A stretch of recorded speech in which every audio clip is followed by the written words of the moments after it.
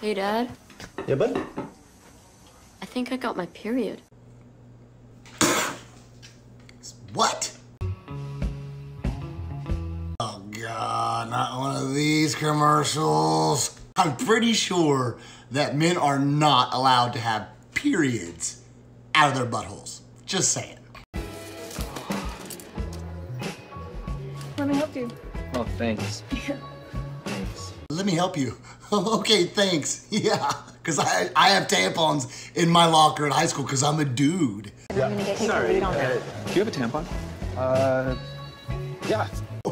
Hey, excuse me, sir, do you have a tampon I can borrow? Yeah, uh, hey bro, you uh, you have a tampon string hanging from your asshole because supposedly you bleed. From your butt. Because it's part of your menstrual cycle.